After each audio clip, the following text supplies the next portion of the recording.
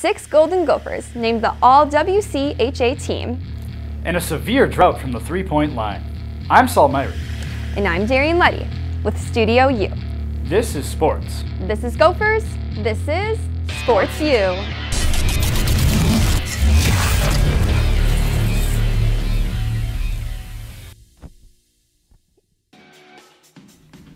Six Gopher women's hockey players were named the 2018-2019 All WCHA team. Grace Zumwinkle, Nicole Schammel, Emily Brown, Kelly Pannek, Patti Marshall, and Taylor Reese received the prestigious honor. That's right, Darian. Grace Zumwinkle led the way for the Gophers this year and was named first team honoree for the second year in a row.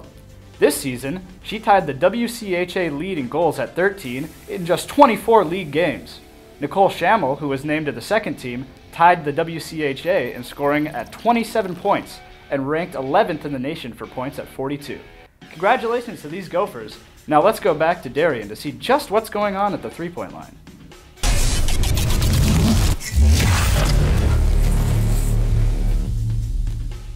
Thanks, Saul. There are currently 353 teams in Division One college basketball and Gophers men's basketball team is 346 when it comes to three-point percentage. According to the Star Tribune, three-point shooting has been a struggle all year long for the Gophers, who are currently on the fence about making this year's NCAA tournament.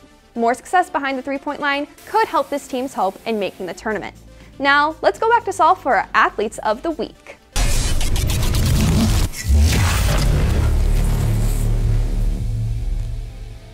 Thanks, Darian. Our athlete of the week is Gopher women's softball player Hope Brandner. Brandner, a transfer for Oregon State, went 2 for 3 from the plate while recording 3 RBIs. She helped the Gophers to a 7 0 blowout win over Missouri State.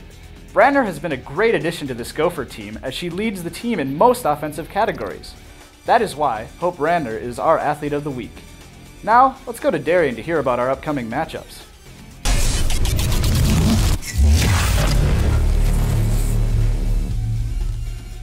Thanks, Saul. Finally, March is upon us, and hopefully that means the weather will change soon. But we have some great matchups that you do not want to miss.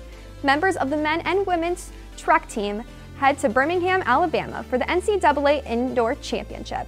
Men's baseball will face the defending NCAA national champion Oregon State Beavers on Friday. Women's softball travels to the capital of Texas to take on the University of Texas Longhorns. Finally, men's basketball will play their regular season finale on Friday against the University of Maryland.